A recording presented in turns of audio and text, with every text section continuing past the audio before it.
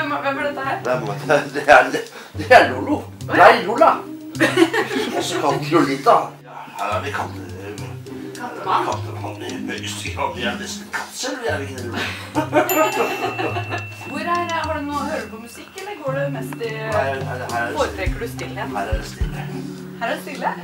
Ingenting. Har du ikke, har du ikke musikk? Jeg har et musikkapparat. Jeg vet ikke hva det kalles. Men det kan vise seg, det var jeg.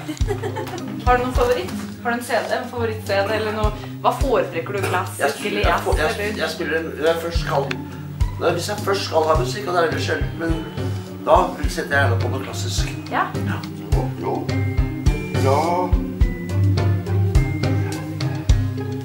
Det er kona mi som har spilt her. Men jeg har jo Mozart. Det her, dette er plater, altså. Jeg vet ikke hva som er hva her. Og fjernsynet ser veldig pent rundt apparat. ja. Den har én kanal. Den har én kanal.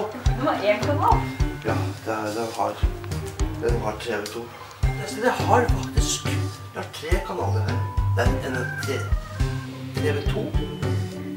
Det er svensk TV1 og svensk TV2. Ikke NRK? Mm? Nei, det er gått vekk. Gått vekk, gått med dato. Jeg er veldig, jeg var veldig opptatt på, på ski-VM da, med langrenn. Ja. Og da faen hva skal jeg gjøre? Det, det er jo et For det gikk jo på NRK. Ja, ja, ja. Hva gjør jeg nå? tenkte jeg, ja, vi får se.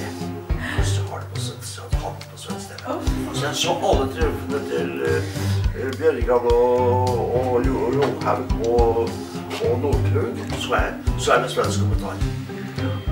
Men jeg si, svenskene var veldig sportslig. De tok det veldig pent.